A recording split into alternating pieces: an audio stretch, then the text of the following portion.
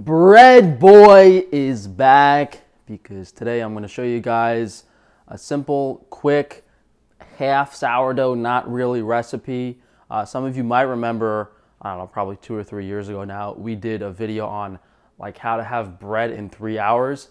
This recipe is kind of similar to that, but we're using higher quality ingredients.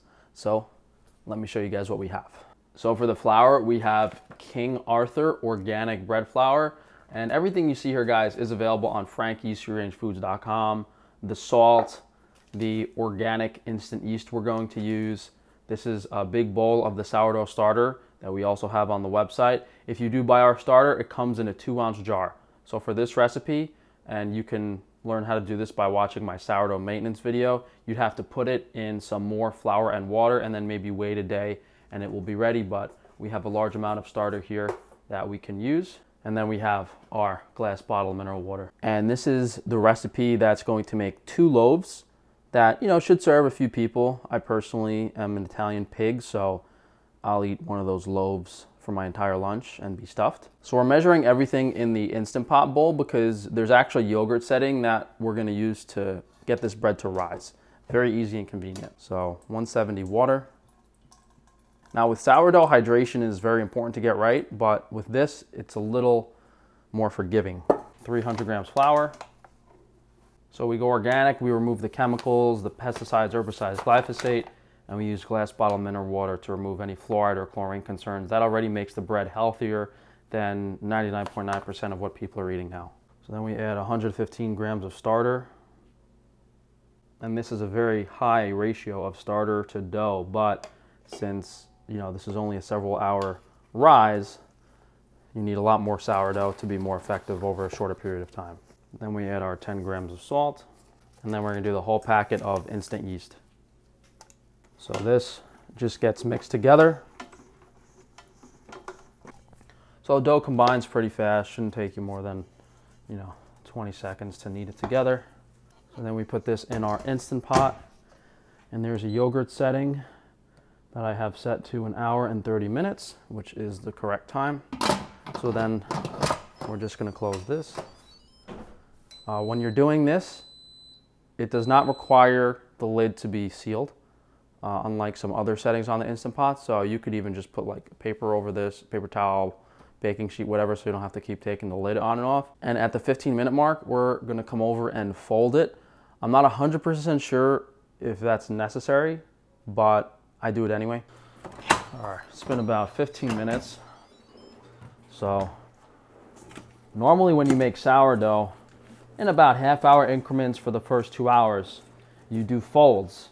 Uh, it's called the autolyse process where the flour is basically absorbing the water, but in this case, where it's a really short fermentation, we're just stretching it a little bit to build up some gluten and then that should be enough. Because there, there's so much yeast in this that regardless of what we do it's just gonna it's gonna rise up and it'll be fine. Put a little oil in here just so it's easier to take out after it. It doesn't stick as much. So 90 minutes is usually long enough. If your sourdough starter wasn't that active or if it's a little cold out you know you can always just add a little more. So we'll add another you know instead of being an hour and a half it'll be two hours. So I'll see you guys when I'm back from work. All right, so it's been about two hours. And now when we open this up, there is a lot more dough. It has grown substantially. So I got a steel tray lined with parchment paper. We're just gonna take our dough out of here. You know, most of it doesn't stick, so nothing crazy in there. You do have to soak it though. now we're going to split this in half. You could weigh it if you want to make sure it's completely even. And now we're going to take each half of the dough and kind of just like fold it over itself a few times and then form like a little ball in the bottom. Kind of twist it.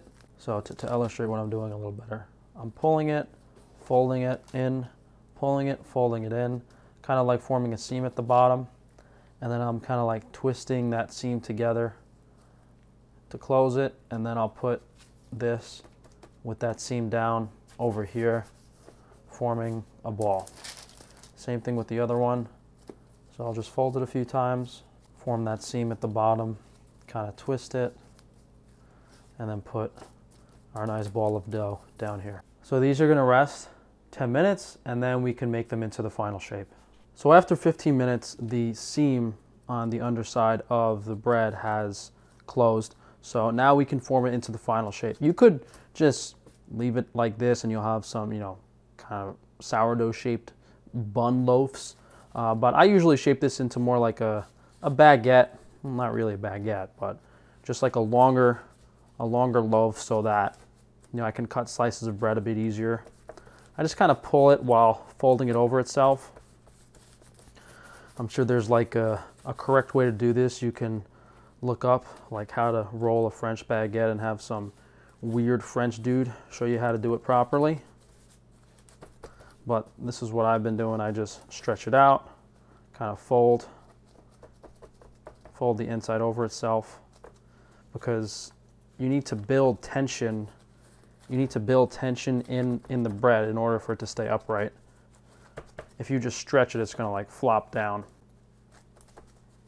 So even, even like folding it over itself and just really pulling it and rolling it.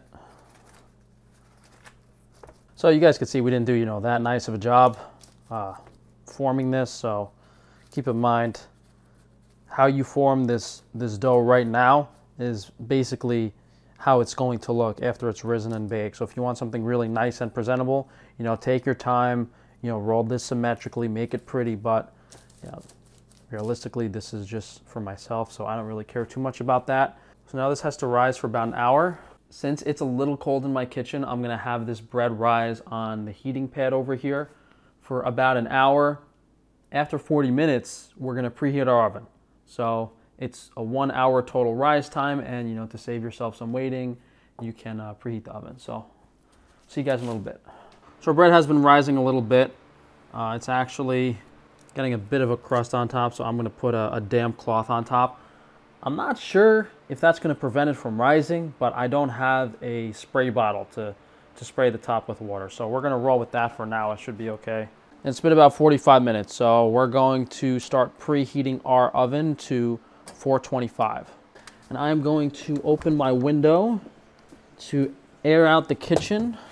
And it's ice cold, getting pretty cold out now, like 35 degrees. So Thankfully, it's not a, you know, three hour sourdough project.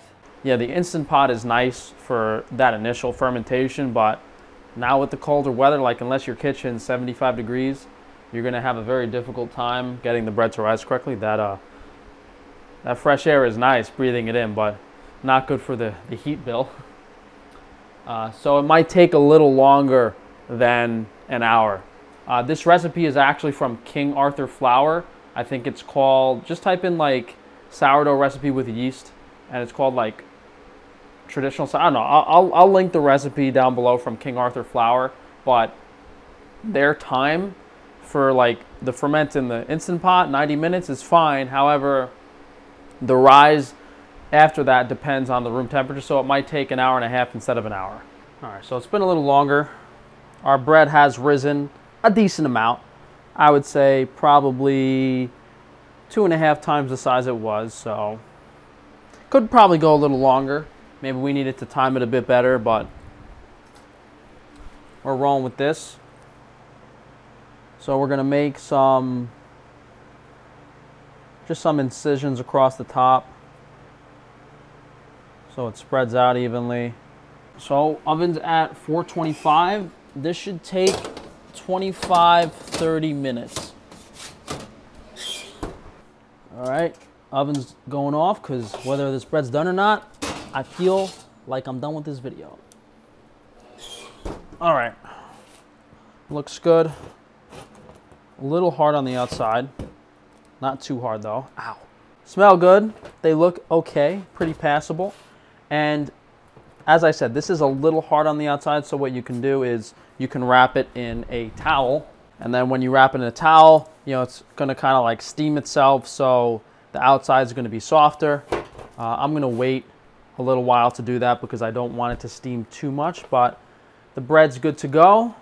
obviously best, you know, fresh. So the main difference between this and sourdough outside of like the obvious flavor is I found this is actually pretty tasty even on day two and day three, whereas sourdough is only really good like the first day. Uh, so, you know, whether you have some time in the morning and you can make these fresh for lunch or later in the day and have them fresh for dinner, they do taste a bit better the same day.